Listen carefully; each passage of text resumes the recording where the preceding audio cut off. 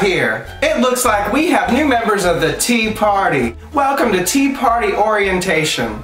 And like I always say, the Tea Party only has one orientation, and that's straight. Today what we're going to do is review our agendas for orientation. And don't worry, this is not a liberal gay agenda. This is a conservative straight agenda.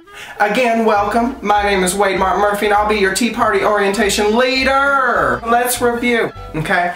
We believe our government, as you can read in your agenda along with me, our government is in a bad way, full of fiduciary misconduct, mm-hmm, big government, godlessness, and people wearing white after Labor Day.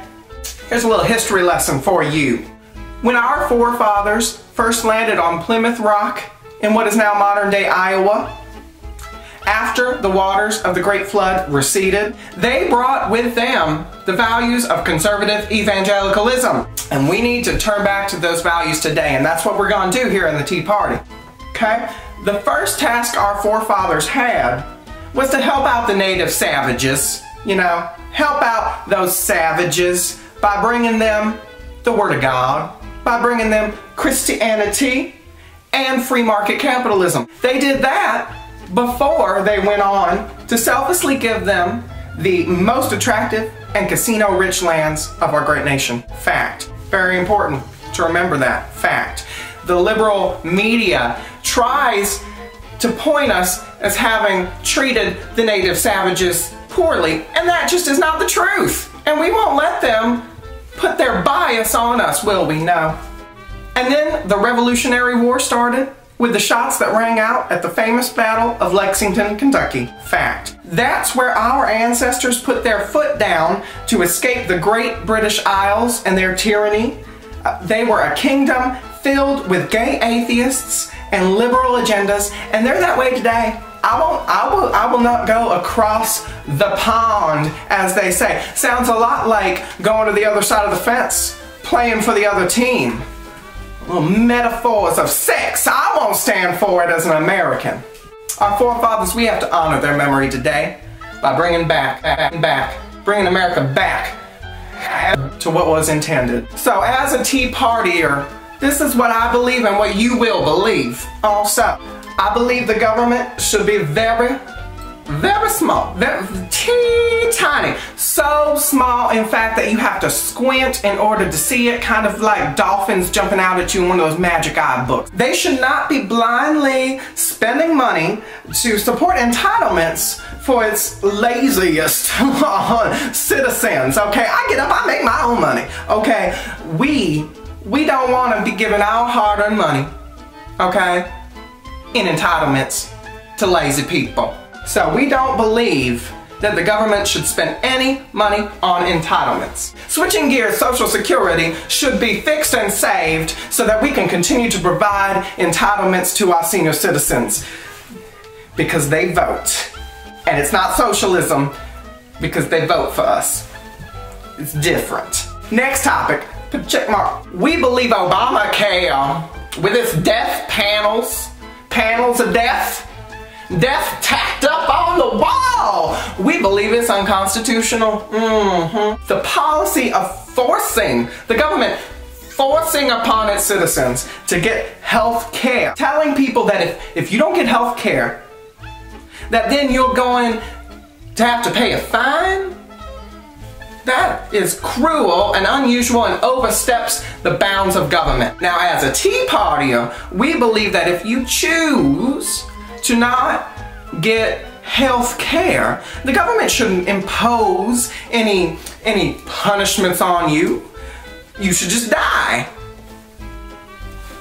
We think that is much more fair and humanitarian. Mmm. Put a check mark. Thanks for that one. Moving on. We believe, again, that big government is a problem. And we think that government, we know that government, we are saying, mm -hmm, okay, that government should not have its hands in regulating the market. Mm -mm. Because corporations donate to our campaigns. They're fine, you know. No problem. Campaigns are not cheap, okay? The corporations Love ya. We believe that the United States has no business in the uh, affairs of foreign uh, countries. We don't know any foreigners. Um, we don't want them here, and we certainly aren't going to go visit them, okay? like, I don't understand that. We shouldn't have to be the police of the world, okay? We have enough types of people here, if you know what I'm saying. Don't want the media getting a hold of me saying something that I'm not meaning and twisting my words. Let's just say that we have certain types of people that we have to police here and we got our hands full, okay? We have no business going over to Ethiopians and the Asians and policing them. We have no business in that. We are, however, the greatest nation in the world, and we should always be looked on as such, and we should be looked on as a leader and an example, and be the city on the hill. Uh, people should just uh, love us and respect us without our having to actually do anything, you know, because they are foreigners, okay? And just by that alone, we're better than them.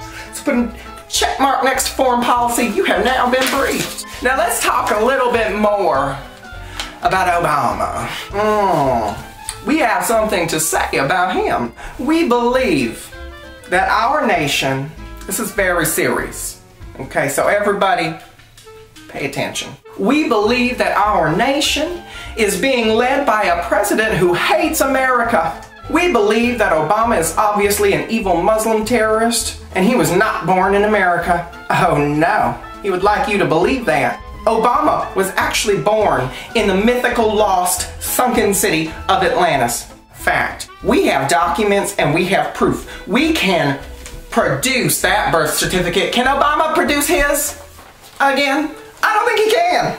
Mm-mm. Ship has sailed. Check mark. We believe globalization is a myth, okay? Just like global climate change, evolution, and Keynesian economics Myth, myth, double myth. Check mark, you've been briefed. Let's just bring a conclusion and then we'll take our donut and peep break. And so some of you men can go to the men's bathroom and leave yourselves and tap your feet, if you know what I mean. This is, this is the final point. Above all else, my fellow Americans and Tea Partiers, we believe that government has overstepped its bounds. Mm -hmm. We believe in the freedom of the individual and of the rights of the individual Um, unless that individual is gay or atheist or black or Jewish or ugly. Individual. Minor exceptions. Especially the gay thing to you. One thing that the government should fund is some sort of a camp to turn gay people into straight people. We should train them to every time they think about anal penetration, this image just pops up in their head. I believe that would work and make America a better place. In conclusion, thank you all for being citizens of this great country and come together with the Tea Party because as I've explained, our views make sense and would make America a better place. This video has been brought to you by viewers like you. Please go to my YouTube channel and subscribe, youtube.com forward slash hello happy time. Also, follow me on Twitter at twitter.com forward slash victor underscore underscore ward. And follow me on Tumblr at hellohappytime.tumblr.com.